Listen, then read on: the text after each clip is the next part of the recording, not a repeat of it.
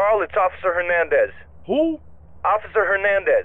I work with Tenpenny and Pulaski. Oh, the bitch. What the hell you want? Hey, show me some respect, boy. Go fuck yourself. You just a bitch. You watch your tone, boy.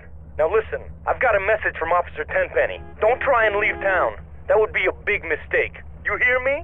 We're watching you. Whatever you say, bitch.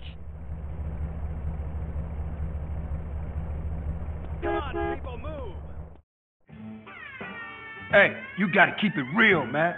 Man, nobody give a shit about the hood. I do. All they do is sell yay and ruin the place.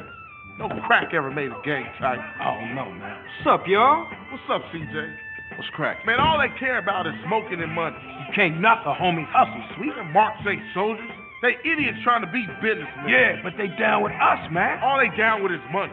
CJ, go down there and show these fools you mean business. These chumps on the Ballas are sweating the homies. Go put pressure on them. Let's do it. We've been putting time in the hood, but we gotta get the homies back together.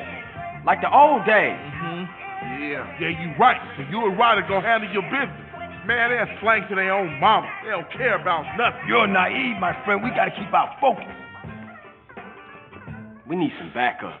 You seen B Dup? Nah. But him and the homeboy Bear, they good to have on our side. Oh, Big Bear? Yeah, them base slangers gonna be sorry now. Hey, B Dup is only a couple of blocks away.